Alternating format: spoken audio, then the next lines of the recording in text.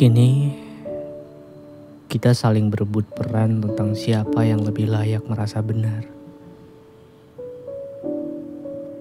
Cara kita merasa dan berpikir menjadi sebuah lahan untuk saling berdebat.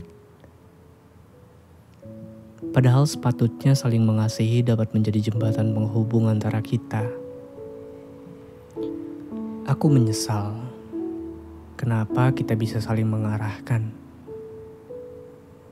kita malah menjadi sepasang luka yang saling melukai.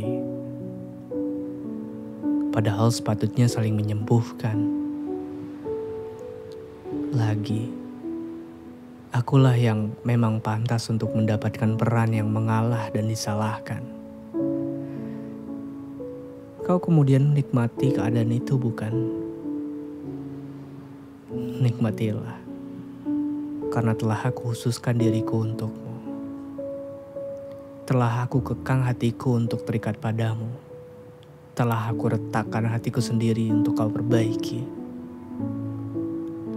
Semoga dengan ini, kau mampu memaafkanku dengan segala lebih dan kurangku.